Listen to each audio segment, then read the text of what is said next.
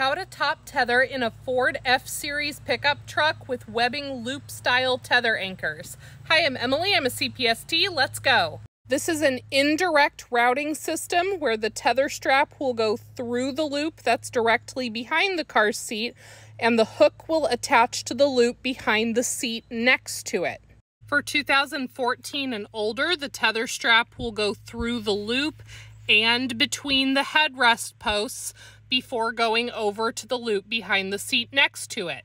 But for 2015 and newer, that first loop gets pulled forward of the head restraint and the tether strap goes through the loop, but not between the headrest posts, then goes over to attach to the loop behind the seat next to it. Once you've attached the tether, finish installing the car seat with the lower anchors or the seat belt. Then pull the tail of the tether to remove the slack. It should not be tipping the seat sideways, just remove the slack. If you're installing in the driver's side, remember the tether goes behind the plastic housing for the center seat's shoulder belt. Frequently asked questions. Yes, the two outboard seats can share that center loop as their tether anchor. And yes, a third forward facing seat could go in the center as well.